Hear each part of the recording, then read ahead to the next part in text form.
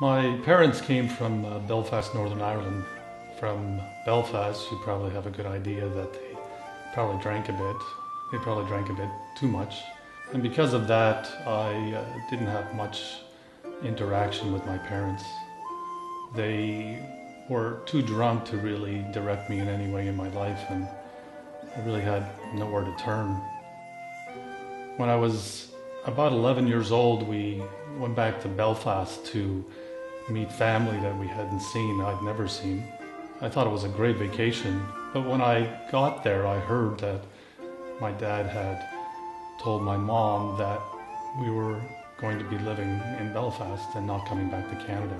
Well, that didn't go over well during that vacation, and in turn, my mom said, No, we're coming back home to Montreal. Right after we got back to Montreal, my parents separated. My dad wasn't around a lot. He uh, was off with uh, someone else, as I found out later on in life.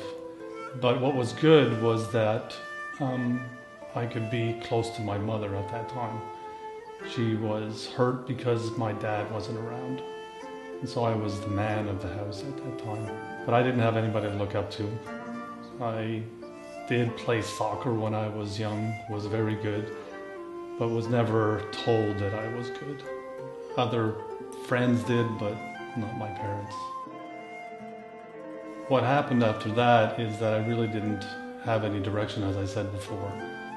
When I started going to high school, you get into the wrong crowd, or you get into a crowd and you just don't do the right things. I started drinking when I was younger. I didn't drink a lot because the next morning I would have hangovers and I couldn't handle that. So what happened was instead of drinking, I went to drugs.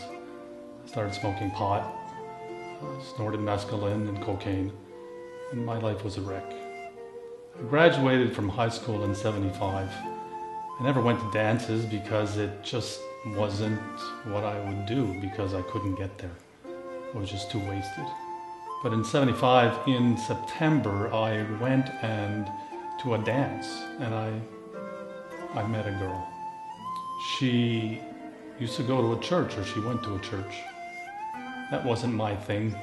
I had uh, been sort of like shown a little bit of what church was at a United Church, but there was nothing about Jesus in it. But this church was a little bit different. She wouldn't uh, drag me to the church, she just invited me. It was quite cool, actually. It was kind of interesting. And then one time she invited me to a movie. Uh, the movie was called A Thief in the Night. To me, it was kind of a, a scary movie. Their pastor at that time came up to me and asked me if I, what I thought about the movie. And I thought, well, it's a great movie. And he said, uh, so you like the, the idea of uh, Jesus coming and, and, and bringing people to heaven? And I said, absolutely. That's, he says, well, if your girlfriend, uh, do you think she's going to heaven? And I said, absolutely. He says, you're right. And he says, what about you, son? And I said, well, yeah, I'm going to heaven. And he said, no, you're not. It frightened me to the bottom of my feet. I asked him what he meant by that. He shared with me John 14, 6, which is Jesus said, I am the way, the truth, and the life. No man cometh unto the Father but by me.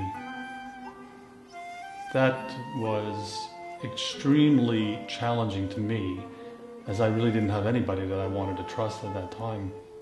But I, I looked at him and I looked at the girl at that time and felt there's got to be something to this. And so for a while, and not that long a while, I kept on asking questions.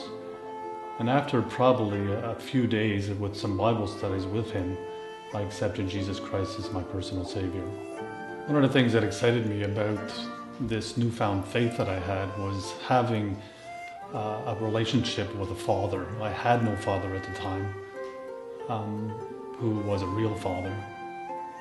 But when I accepted Jesus and then understood what he was, who he was, and who his father was. I wanted it. I wanted all of that. I loved him then and I love him now. Fast forward to today, I married that girl. We've been married 34 years in June. I have one son who's going to be 26. I know we can't say that life is like heaven on earth. Of course, we have our ups and downs, we have our struggles in our Christian faith. But if heaven is going to be better than this, I can't wait to get there. My name is Wayne McAllister, and I am second.